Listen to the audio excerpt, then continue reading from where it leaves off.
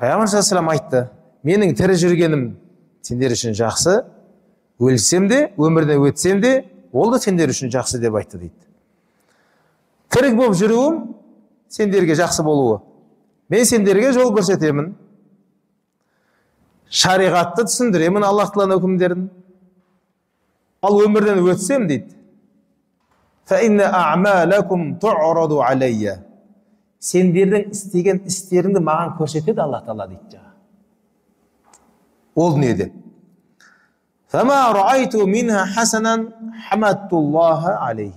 жақсылықтарыңды көрсем алла тағалаға сендерді мақтап мен аллаға не айтамын мақтап айтамын дейді мына қолың я раббым сенің мына қолың осы жақсылық істеген екен саған шүкірлер болсын мақтаулар болсын деп оны мақтай түседі ал сендер күнә істеген болсаңдар сендердің ол күнәларың үшін мен алла тағаладан кешірім сұраймын сендер үшін деп айтты. Я раббым мына пендеңді кешірші бұл пенделік қылып қойды деп истиғфар айтамын дейді да сіз бен біздің күнәміз үшін. Біреу үшін кешірім сұрап көргенсіз бе өмірде басқаша негізі ше? Біреу үшін кешірім сұрап көргенсіз ба сіздің қатысыңыз жоқ. Біреуді біреу ренжітіп қойды анау ренжіп тұр ренжіп тұрған келіп ананың атынан кешірім сұрадың да е бауырым кешіріп қой ол ақымақпен ақымақ боласың ба кешірші бір ашуыңды берші маған.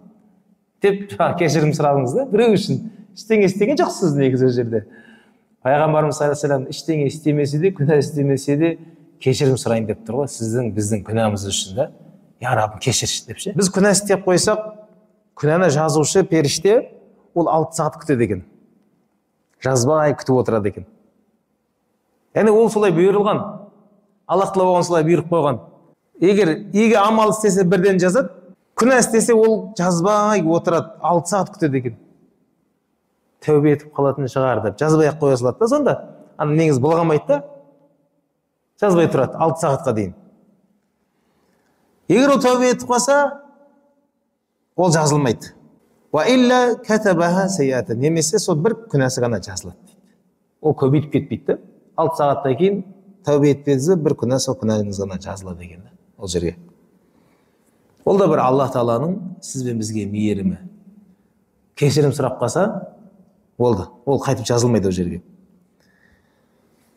روى أنس أن النبي صلى الله عليه وسلم قال إذا أذنب العبد ذنبا كتب عليه فقال أعرابي وإن تاب عليه قال محي عنه енді анасынан келіп жеткен айтып жатыр пайғамбар хадисін егер адам күнә жасаса оған ол күнә жазылады деді алты сағаттан кейін болса жазылды ғой ол күнәсі сонда шөл арабы сұрады дейді тәубе қылсайшы деп сұрады дейді жаңағы алланың елшісінен онда ол қайтып өшіріледі деп айтты дейді қайтадан ана қаламмен жазғанда өшіріп тастауға болады ғой өшіргішпен иә сол өшіріп тасталынады қайтадан дейді қайтадан істесеңші деп айтты дейді қайтадан жазылады ол күнәсі деп айтты дейді қайтадан тәубе қылсашы деп сұрады дейді жаңағы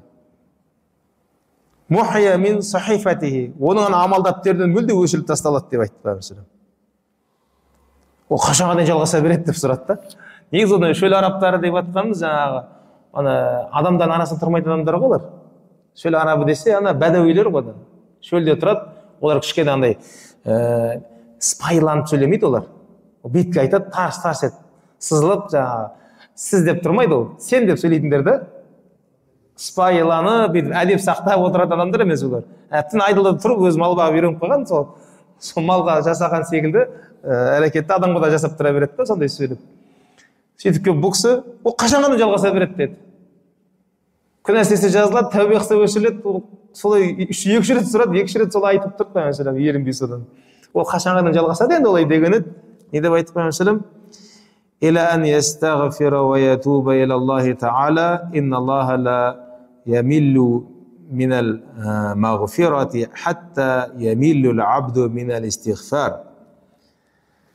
Байхақидан келіп жеткен риуаят екен бұл хадис тіпті ол адам күнәсіне тәубе етуден кешірім сұраудан тоқтамаса аллах тағала да оны кешіре береді деді қашан өзі тоқтап қалғанға дейін дейді да ол кешірім сұрамай қойғанға дейін ол кешіріле береді деді негізі расында адам кешірім сұрамай қалады негізі күнәсінен ше басында күнә істемей жүріп ә, бір істеп қалса өкініп жаңағыдай алладан кешірім сұрап не істейді да жылап түнде тұрып тахажүдке тұрып кешірім сұрайды тәубе етеді жаңағы басында кейін тағы біраз уақыттан кейін бір істеп қалады тағы да тәубе етеді өйстіп осы көп көп қайталана бергеннен кейін ше соңында оған әдет болып қалады да күнә істей беру ше ол тәубе етуді ұмытып қалады негізі. Ол баяғыдай жылап кешірім сұрамай қояды ол.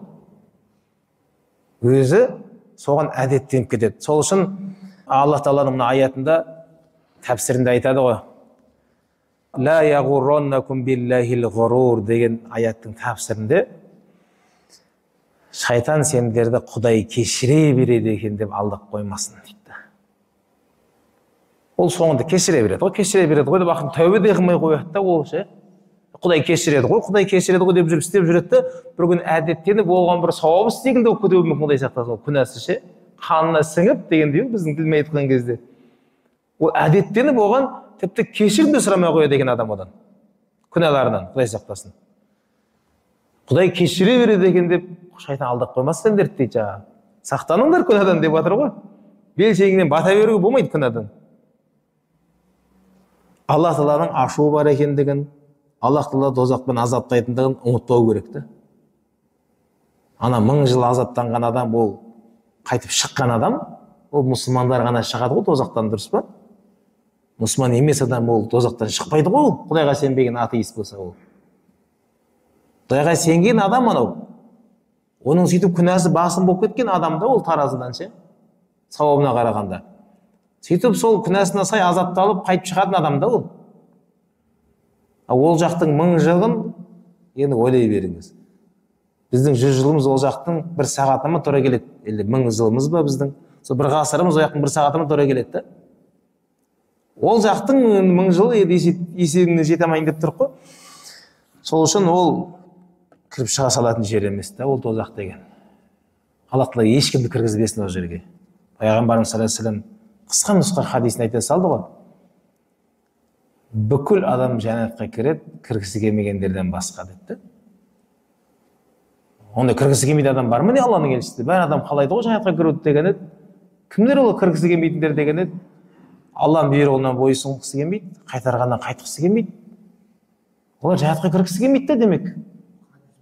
Хадис сондай бүкіл адам жәннатқа кіреді дейді пайғамбар тек қана алланың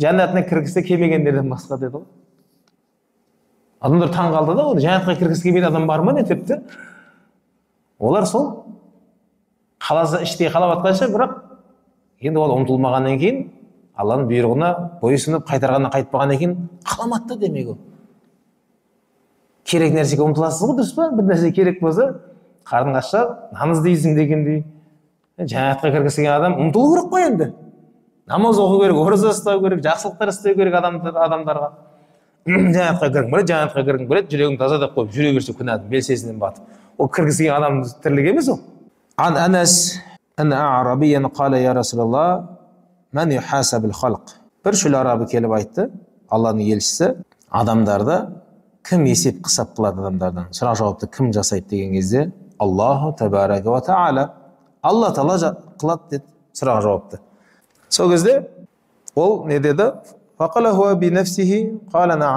а деді да ана адам жаңағы жіпсіді да денесі а деп жаңағы пайғамбар оған айтты сен неге олай жымидың деді да жіпсіп жаңағы жымиып алла тағала болса ондай жарайды деп тұр да жаңағы неге олай жасадың деген еді ана шөл араб не деп айтты innal karim idza afa wa idza hasaba samaha жомарт жаратушы ол жомарттық қылады ғой.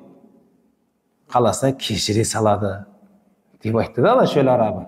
Аллах тағала болса онда менің жүрегімді әйтеуір жайбарақат таптау деді да ол. Себебі аллах тағала өзі жомарт болса ол кешіре салады ғой аллах тағала деді. Сол кезде пайғамбар не деп айтты? Мына шөл арабы деді дұрыс айтты деді әла ла карима акрама миналлахи тағала енді алладан асып түскен жомарт жоқ қой енді жер бетінде дейді да жомарттардың жомарты ол аллах тағала ғой деді мына шөл арабы дұрыс айтты мынау жолы деді бұл зеректік танытты деді себебі кезінде қарап көрсеңіз пайғамбарымыз саллаллаху алейхи кезінде де әр қалада бір әкімдер болды өзі қойып қойған адамдары. Мұсылман мен мұсылман емес біреу тартысып қалса не деп айтатын еді? Ана мұсылман емес адам ол дұрыс болып тұрса оныкі өзіне сенімді болып тұрса жүр пайғамбарға дейтін еді да. Жүр пайғамбарға барамыз дейтін еді. Ана адам әкімге бара салайық та десе жаңағы жоқ жоқ пайғамбарға жүр деп жаңағы. Ол біліп тұр пайғамбардың әділ екенін деген да. Омардың кезінде де осылай болған ғой жаңағы. Бір мұсылман мен мұсылман емес біреу екеуі тартысып қалды бір мәселеге дейді. Сонда ана мұсылман емес адам айтады дейді ғой жаңағы жүр омарға деп та. Ол басшының әділ екенін біліп тұр да. Ана кісі жоқ мына қазиға айта салайық та сотқа шағымдана салайық ол кісіге тікелей бармайық десе жоқ омарға жүр деп айтатын еді дейді да. Көрдіңіз ба мұсылман болмаса да ол біліп тұр мұсылмандардың басшысының әділдігін да.